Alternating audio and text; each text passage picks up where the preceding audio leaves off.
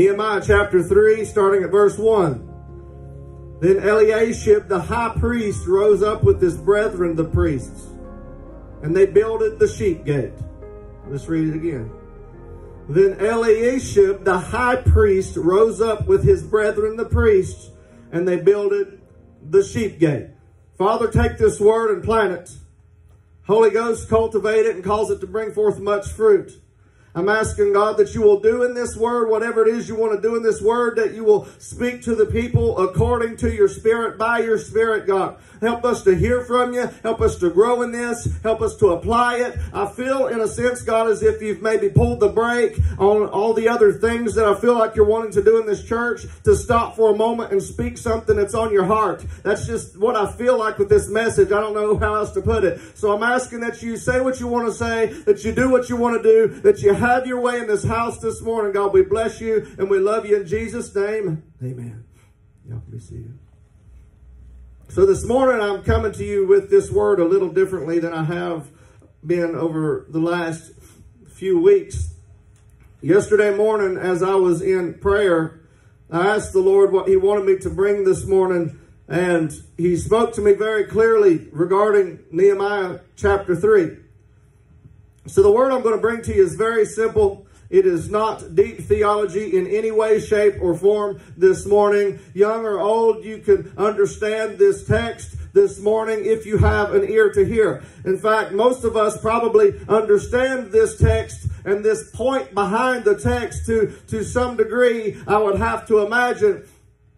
But I feel like the Lord would like for us to examine this text. I feel like there's going to be somebody that hears this message, whether here or on one of these cameras, that God would have to hear this word and strongly consider what it is that I believe he wants to say. So the text said, Then Eliashib the high priest rose up from his brethren the priest, and they builded the sheep gate. So naturally, some of you are probably asking yourselves, what is a sheep gate? So I'm going to address that first before we do anything else. Now the sheep gate was the first gate to be restored, and it was rebuilt by the high priest and his fellow priests. Take note of that. The high priest was rebuilding the sheep gate, and his fellow priests were to help him rebuild that sheep gate. Notice this, that Jesus is our high priest, but we are kings and priests of the new covenant. He is the high priest, the builder of the sheep gate, but we are kings and priests alongside of him, and we are to help him restore the sheep gate. I want you to note also that this gate is the only gate that was consecrated as it was used to bringing sacrifices into the temple of God. Now, it was called the sheep gate because the entrance was used for sheep that were entering into the temple from the sheep markets, which, you know, were the lambs that were being sold for temple sacrifices. Now the gate led to the sheep pool, which is where the sheep were washed for the sacrifices before they went in to be sacrificed. Now later on in the Bible, you're going to see that this is known as the pool of Bethesda. Now listen closely. A couple of thousand years later, while Jesus was on earth, every time that he entered into Jerusalem, it was through the sheep gate, except for his triumphal entry. The sheep gate also led Christ to Golgotha. That's the place, as we should know, where he was crucified for the sins of man. Now, I want to take you through a couple of verses in John chapter 5, 2. It says, Now there is at Jerusalem by the sheep market or the sheep gate a pool which is called in the Hebrew tongue Bethesda, having five porches. John 10, 7 says, Then said Jesus unto them, Verily, verily, I say unto you, I am the door or the sheep of the sheep. I am the door of the sheep. Or in other words, I am the gate of the sheep. Jesus says, I am the sheep gate. That is what he is saying right now. So you need to know he is the one and only sheep, sheep gate under the new covenant. He is that door. He is that gate. Let there be no misunderstanding whatsoever about it. It's not Jesus and it's Jesus only. He is the sheep gate. Now, in the Gospel of John, Jesus makes a reference of two different kinds of sheepfolds before he identifies himself as the sheep gate. In the first two verses, the type of sheepfold that he describes you would find in each village, which would allow the shepherds to return their sheep there at nighttime. It was protected by a strong door that could only be opened by the shepherd's key. Now, the second type of sheepfold is described in the verses thereafter. These sheep were, this was a place, again, that you saw this one when Jesus was born. It says that they, the shepherds led their flocks by night. And this type of sheepfold, you would usually have a ring of rocks. And right there at the entryway of that ring of rocks is where the shepherd would literally lay down at the threshold and he himself would act as the sheep gate. And what that would do is it would prevent sheep from leaving and it would prevent wolves from coming in. He would be the protection. He would be the threshold of that. He is the literal door or the literal sheep gate for his fold. Now it's important to remember that Jesus first identifies himself not as the good shepherd, but as the sheep gate or the gate for the sheep. In other words, you've got to first come into the fold before he's your shepherd. I'm taking you somewhere, I promise. When I was praying yesterday morning, as always, if Saturday comes along and I don't have a word yet, I say, God, I'm going to need something.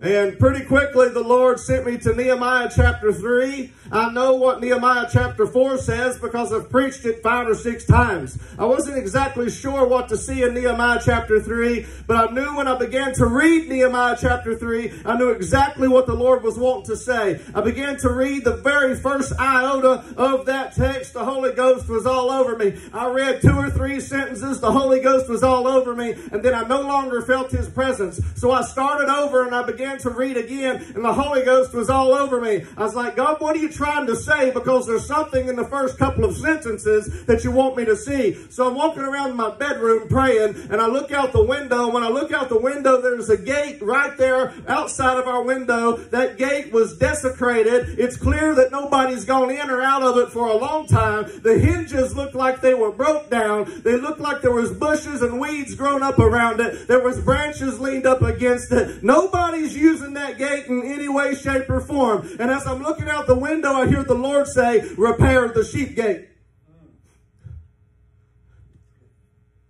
Repair the sheep gate. Let me tell you what that looks like for us right now. I'm looking out the window. Jesus says, I am the door. I am the gate of the sheep. Let me tell you something right now. There is absolutely nothing whatsoever wrong with that gate that's outside of my window. It is in perfect working order. The only thing that really needs to happen is somebody needs to go out there and tear down some weeds. They need to remove some branches. They need to maybe reinstall the hinges, but the gate is perfectly fine. There is nothing wrong with the gate. The gate is perfect. The gate is in perfect working order. The problem is not the gate. The problem is what the people have allowed to grow around the gate or lean against the gate or put upon the gate or add to the gate or take away from the gate. Well, problem is, is that the people of God had said Jesus is the only answer. They preached it from the very beginning. By faith in him, whosoever will shall come into the fold of God. And somewhere along the line, we began to tell people that you need to button your shirt a certain way. You need to have long enough sleeves. If you don't shave your beard, you can't fold. Right now, I'm telling you, folks, you go on the streets, you see men and women bound with all kinds of sin, all kinds of addictions, all kinds of problems. And right now, much of the church would say, you can't come into my fold until you get some things in order. Are you still drinking? Well, you better wait outside until somebody can come along and get you some help. No, sir. Jesus said, I am the gate. You bring him into that gate, and when he comes into my fold, those things are going to start to go away. I don't want your bushes. I don't want your branches. I don't want your weeds on my gate. You bring them in right now and I'll set them free.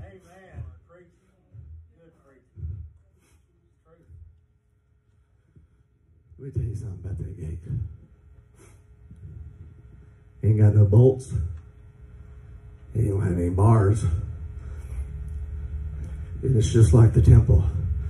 You'd never hear the sound of a hammer in the temple. What does that mean? That means the gate knows how to stand alone.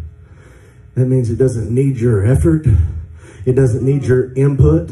It doesn't need your dress code. It doesn't need your perspective. It doesn't need your judgment. It doesn't need you thinking that this person's not good enough and this one is. It doesn't need you playing Holy Ghost. It doesn't need you trying to tell people how to dress. It doesn't need you trying to tell people where to go. It needs you saying, the gate is good enough. It is fit by itself. No need for bolts and screws. No need for a hammer on the job site. God made this gate the way it needs to be made. It knows what it's doing. It knows how to keep the sheep in and it knows how to keep the wolves out. I don't need to coach it. I don't need to take it by the hand and say, hey, Jesus, haven't you seen what that one's doing at the job site? Haven't you heard what they were doing in the secret place? Am I condoning sin? Absolutely not. What I'm doing is condemning you being the Holy Ghost. I'm saying right now, God has called you as a people to say the sheep gate is good enough. God wants you to restore the sheep gate and say, Jesus is enough. He's always been enough. Forget about the weeds. Forget about the bushes. Forget about the bolts. Forget about the screws.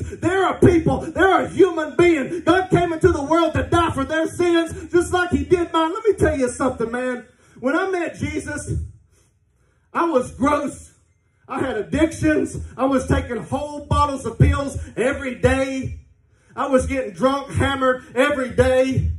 I was spending as much money as possible to get as high or drunk as possible. Whatever I had, if I didn't have enough to get as high as I wanted to, I'd take it from you and then get high. So there I was on my couch one night. I wasn't thinking about God. I wasn't thinking about salvation. I could care less about hell. All I wanted was some pills. So I'm laying there on the couch. There came along a tap on my side. I said I was laying there and there was a physical tap on my physical side. A second time this took place. Most of you know this story. A third time it happened more stern. At that point, I was in a great panic because I was by myself on that couch. Nobody else was in the room. I was freaked out because something's touching me. I'm sober and nobody's in here.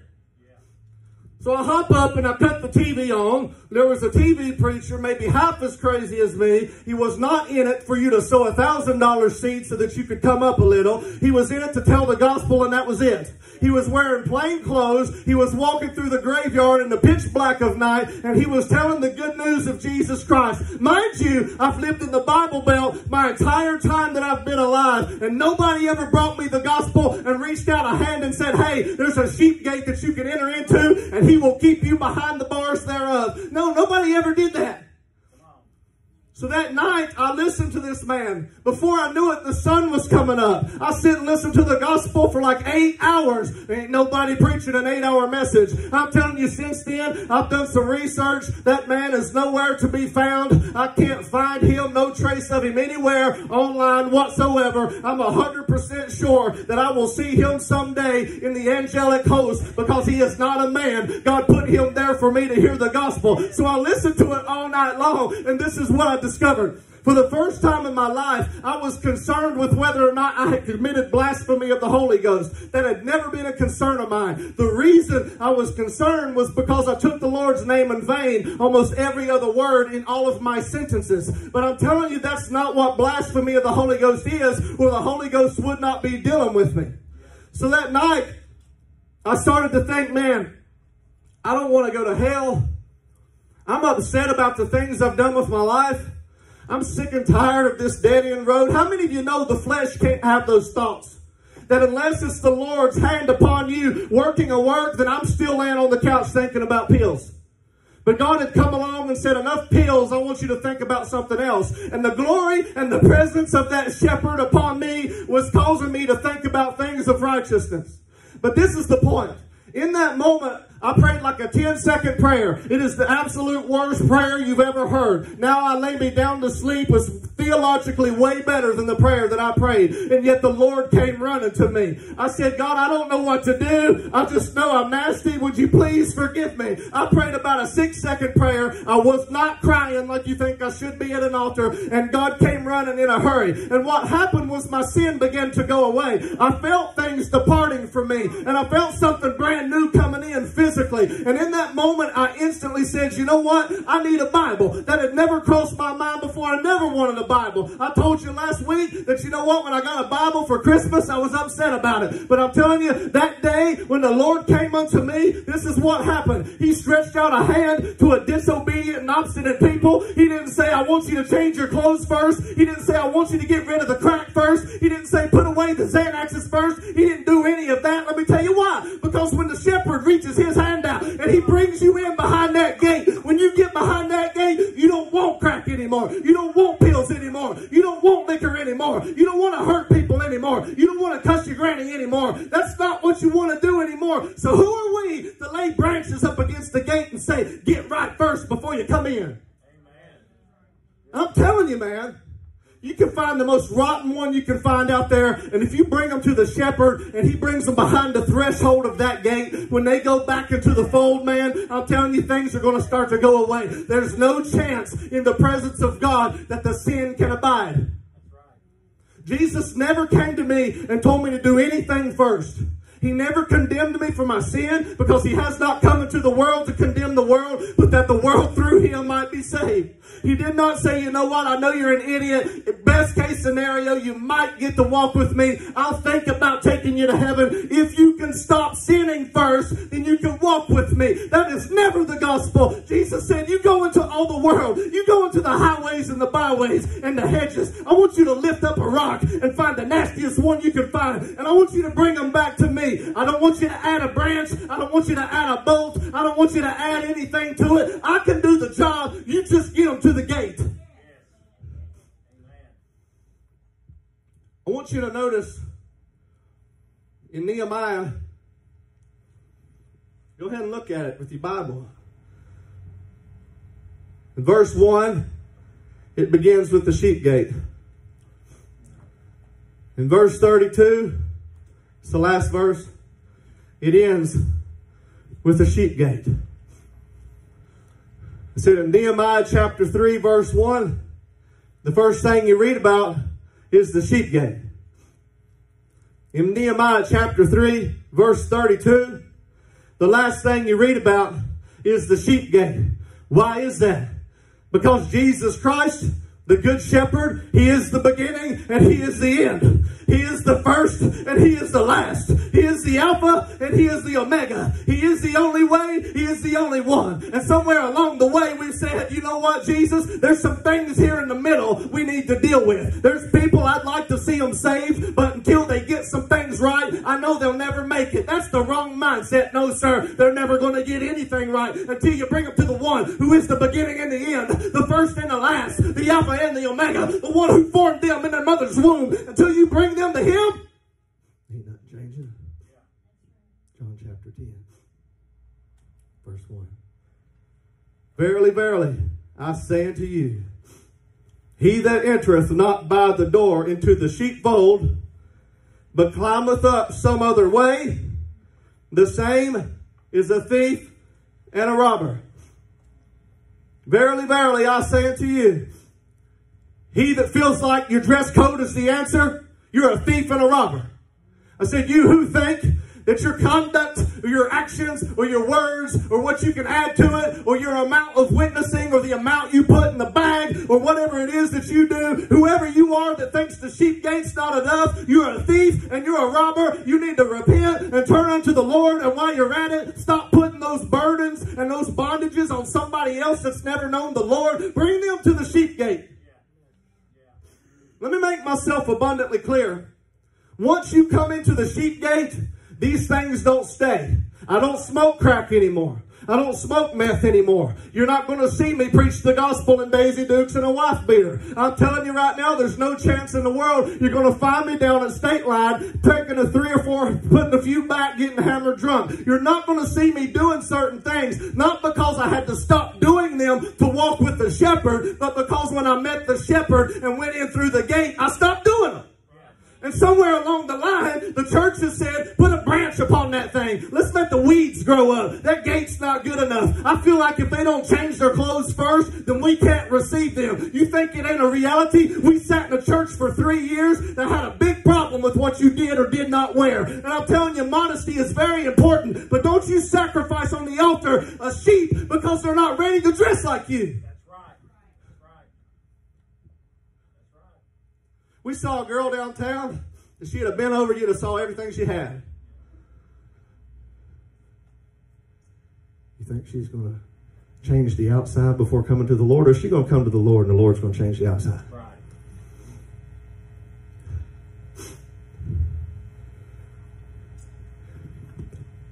It's a bigger problem than you think. Put away genealogies and the commandments and doctrines of men. God never came to, I challenge you, God never came to anybody here and told you what to do first before you could walk with Him. That everybody that's had an encounter with Jesus came to the gate and because that gate was perfect and glorious and self-sufficient, when you entered into that gate, the, the presence of what's behind that gate started to deal with you. You said, you know what, I think I need to remove this or that piercing. It doesn't look right on a saint to have 15 eyebrow piercings. I've known people there, but they didn't do it first. They did it after they got in the presence. Right, right. Right. What concerns me is I know the Lord wanted me to bring this word, so examine yourself. Examine yourself on these cameras. The sheep gate is enough. You're fishers of men. Spend this sunny day out on the lake and stand on your boat and shout to the waters, hey, fish. If you could, line up and come up here. And I want you to hop in my boat this way. If you don't do it this way, I don't want you. How many fish are you going to catch? No, no. You send out the gospel and they take a hold of that goodness of God and that love of God. And you reel them in and you bring them into the boat. And once they get into the boat, things change for that fish. In fact, they no longer are a fish, I would suggest to you. But the point is this, they're not coming based upon certain terms. They're coming because they've tasted and seen that the Lord is good. And therefore they've come. They're not going to come under the pretense of you saying, make this change, make that change, do this or do that first. They're not coming for that reason. You go into the world, I challenge you to find a nastiest of the nastiest that you've ever seen, and you bring them into this house, and you let them sit beside you. You let them have all of the, you, I don't care if they're crack pipes sticking out of their pocket, because if they sit here long enough, I guarantee you they're going to throw it away in a hurry. I've had people that I've brought to church straight out of addictions that handed me their meth supplies to throw away. I'm telling you folks, it is not foreign to see these things as a reality, but I did not tell him when I met him on State Street, leave your meth here, leave your pipe here, leave your raggedy clothes here. Find something better to wear. Don't bring that stuff to the church. I didn't do that. I brought him to the church. He was stinking to high heaven. He didn't have very good clothes. He handed me his drugs. He handed me his pipe. He wanted it thrown in the trash. But I did not stop him from coming first. The Bible says that Jesus is the gate through which we have access to the Father. That is Ephesians chapter 2. The Bible says that He is the new and living way. That is Hebrews chapter 10. I said Jesus is the Almighty One. He is the cornerstone. I said He is the bridegroom, the high priest, the King of glory, the light of the world, the resurrection and the life, the mediator between God and man. I said He's the Redeemer, the rock, the Savior, the life, the door, the good shepherd. He is the sheep gate. And who in the world are we to go against what is perfect and say, Jesus, you are not enough. We have got to add to or take away from your plan. I told you it wasn't deep theology. Let's go to John 10. Let's look at it. Gospel of John, chapter 10. Matthew, Mark, Luke, John. Chapter 10.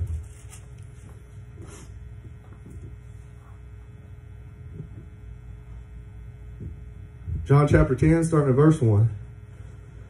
Verily, verily, I say unto you, he that entereth not by the door into the sheepfold, but climbeth up some other way, the same is a thief and a robber. It means there ain't but one way, and don't you dare change it. But he that entereth in by the door is the shepherd of the sheep. To him the porter openeth, and the sheep heareth his voice. And he calleth his own sheep by name and leadeth them out. And when he putteth forth his own sheep, he goeth before them, and the sheep follow him, for they know his voice. Why do they follow him? Because they've come to know him. Not because the rules were lived up to, but because they've come to know him, and he's set upon their hearts some new rules.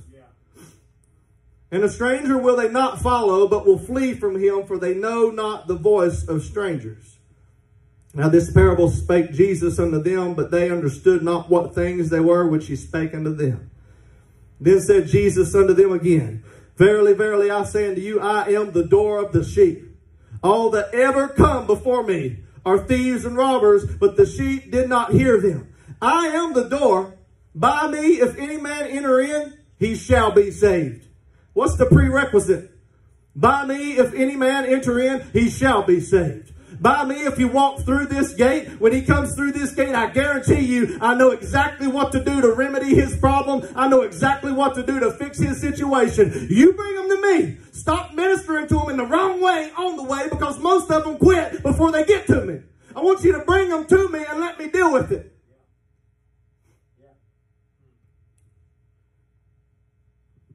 It's one thing to speak life and to speak truth and say Jesus is the answer.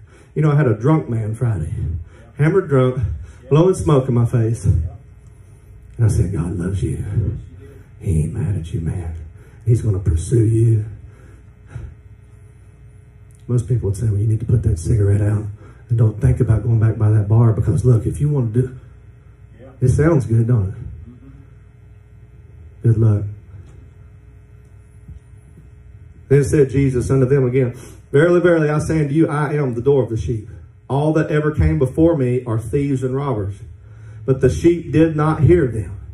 I am the door. By me, if any man enter in, he shall be saved and shall go in and out and find pasture. If he enters in, he'll be saved. And at that point in time, he'll find pasture. But prior to that, he's not finding pasture. He's got to enter in first. You got to get him there first. You got to bring him to the gate first. He's got to come to the Lord first. After that, he enters in and then he finds pasture. The thief cometh not but for to steal, to kill, and to destroy. I am come that they might have life and that they might have it more abundantly. I am the good shepherd, and the good shepherd giveth his sheep life. But he that is a hireling and not the shepherd, whose own the sheep are not, seeth the wolf coming and leaveth the sheep, and fleeth, and the wolf catches them and scatters the sheep. The hireling fleeth because he is a hireling and careth not for the sheep. I am the good shepherd, and know my sheep, and am known of mine. As the Father knoweth me, even so know I the Father, and lay down my life for my sheep.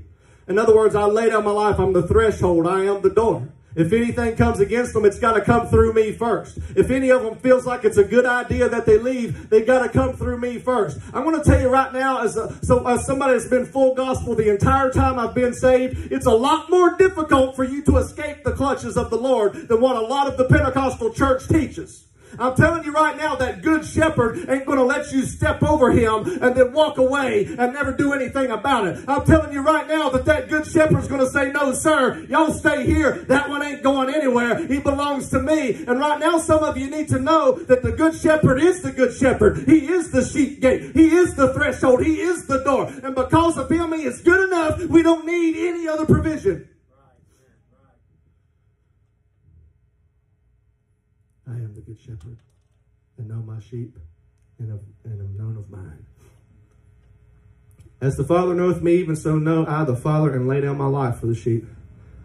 And other sheep I have, which are not of this fold, them also I must bring, and they shall hear my voice, and there shall be one fold and one shepherd. Therefore doth my Father love me, because I laid down my life that I might take it again. No man taketh it from me, but I lay it down of myself. I have power to lay it down and I have power to take it again. This commandment have I received of my Father. Now there was division therefore again among the Jews for these sayings. And many of them said, He hath the devil that is mad. Why hear ye him? Others said, These are not the words of him that hath the devil. Can a devil open the eyes of the blind? And it was at Jerusalem that the feast of dedication, and it, and it was winter. And Jesus walked in the temple in Solomon's porch. Then came the Jews round about him and said unto him, How long dost thou make us to doubt? If thou be Christ, tell us plainly. Jesus answered them, I told you, and you believe not. The works that I do, I do in my Father's name, and they bear witness of me. But ye believe not because you're not of my sheep, as I said unto you. My sheep hear my voice. I know them and they follow me. I give unto them eternal life. I give unto them eternal life. I give unto them eternal life. And they shall not perish, neither shall any man pluck them out of my hand. My Father which gave them to me is greater than all, and no man is able to pluck them out of my Father's hand because I and my Father are one. Folks, I'm telling you, if Jesus wasn't clear as he could possibly be clear that he is the gate, he is the door, he is the shepherd, he is the Alpha, he is the Omega, he is the beginning, he is the end, he is the all in all, he is the first and the last, he is the ruler, the reigner, the all of all things that we need him to be. And right now, somebody needs to clearly understand that that nephew you've got that's got a pill problem, you need to bring him to Jesus and quit telling him to put the pill bottle down first. Say, bring your pill bottle to Jesus and let him flush them for you. But stop telling them what to do before they come to the Lord. I said, you got an aunt or an uncle right now that spends all day long in front of the TV drinking beer because they don't know the good shepherd. And right now, instead of calling them and saying, you know what, if you would quit drinking one day, you might hear from the Lord. No, you say, I want you to come to church with me so you can hear the good news of the gospel. And then I'm telling you, they're not going back to Kroger and buying natural ice again because they found a love with Jesus that cannot satisfy anything else but their soul. Come on.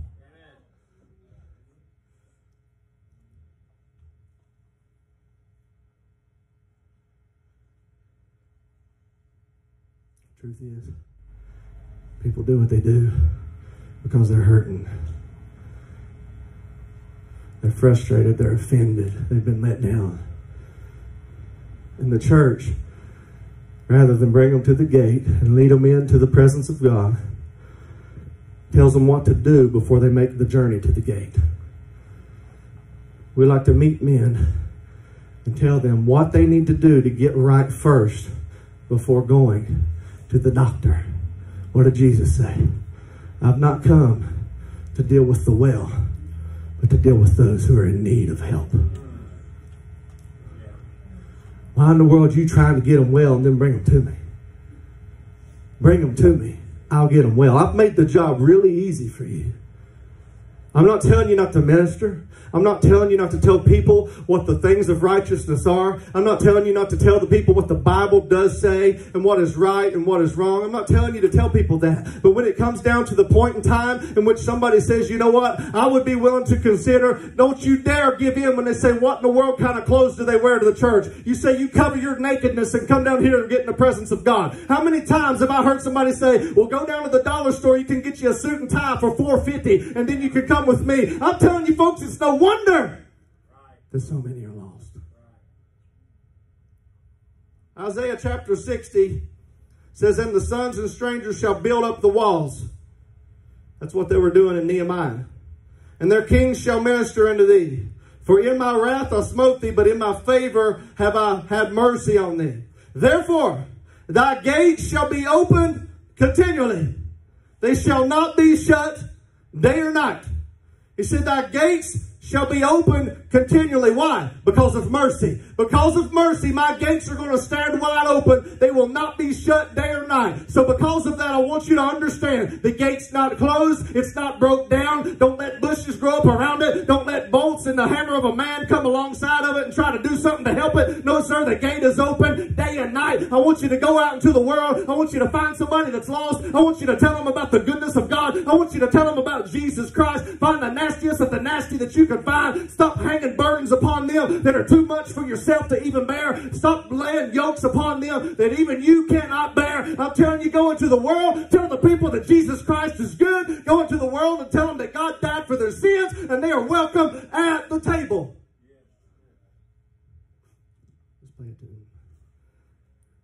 Eliashib, the high priest, rose up with his brethren, the priests. And they built it, the sheep gate. So what the Lord spoke to me Saturday morning was restore the sheep gate. And the message, I think, as you've determined, is very simple. There's no theological hurdles to jump. There's no hoops you got to make your way through to figure it out. Some things are deep, some things are a challenge, and that's just the way it is for the people of God. But man, when you're fishing, all you've got to your advantage is the bait, the rod, and the line. I ain't never seen a fish poke its head out of the water and ask you what it needed to do first before taking the bait.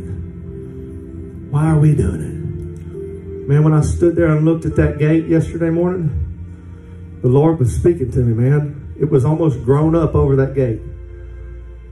You couldn't open it until you mowed it. You couldn't open it until you weed eated it. Nobody's going in or through it until you remove the things that stand in the way. Nothing wrong with the gate, let me remind you. Nothing wrong with Jesus. Nothing wrong with that door. Perfect working order. We don't need to look at people anymore that are covered in tattoos, 15 earrings, mohawk, what in the world ever else it is that causes you to look at them and start thinking, I don't know about this one. They probably ain't there yet. No, they're not there yet. They're not there yet. That's why you take them by the hand and convince them that God so loved the world that he gave his son for you. That you are valuable to him. Man, look at me. God wouldn't want me. Yeah, I couldn't go in a church. Look Yes, you can. Yeah, I know a church you can go in looking just like that. Because I'm telling you, when you get there and the Holy Ghost begins to minister to your heart, once you come in through the gate, you're going to find help that I could never give you. I can try and twist your arm with every theological reason that I have and every Bible verse that I know, man. And hopefully I can convince you to think about the Lord for a few minutes. But the truth is, until I bring them to the gate, the one that has the ability to bring them in behind that gate and change their life, nothing is going to happen. Somebody needs to hear what I believe the Lord's wanting to say. Stop hanging burdens on people that don't belong there. Stop self stop examining somebody from the outside in and determining whether or not they're fit for salvation. Stop looking at somebody when they've got a pipe in their hand and they're blowing smoke in your face and they're cussing here and there and everywhere. Stop backpedaling and saying, you know what, this probably ain't the one. You, you, you better know that that is absolutely the one. That is absolutely Father, I thank you for the door, for Jesus, the Lamb of God. God, I thank you that you came into the world to take away sin.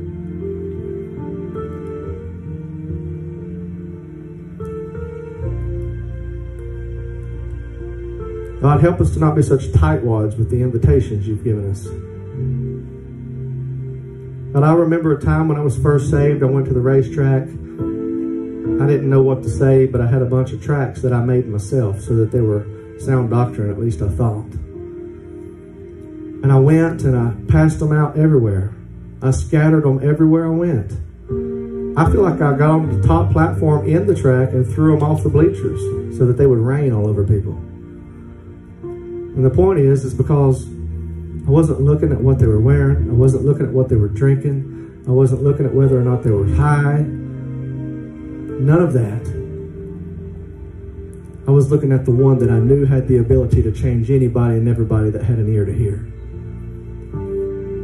And I pray, God, that you develop that in our hearts right now, not just here and not just on the cameras, but in churches across America. That you break off the foolish legalism that attaches things to people that aren't from heaven, that make it impossible for people to come in and be saved, that make folks twice the child of hell than they were to begin with.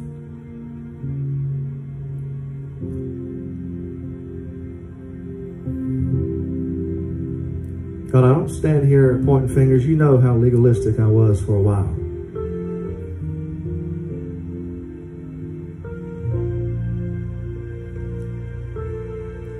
God, you know at the same time that it's not it's not an effort to turn anything good into a license.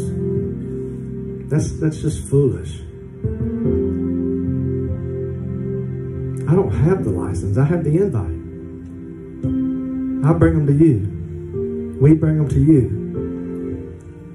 God, do a work in the hearts of the people here. Help us to uh, to see and to hear your voice and your heartbeat, and to walk in what you've called us to, to be who you've called us to be, to function as you've called us to function. Help us to be a people, God, that restore the sheep gate. If there's anything in its path that would slow somebody down from coming to you, help us, God, to effectively and quickly begin to remove the hedges and the brush and the weeds and the, and the branches and whatever is growing up around that gate, God. I believe we're responsible for taking care of what's going on around that gate. We need to give people a clear entryway unto the Lamb of God.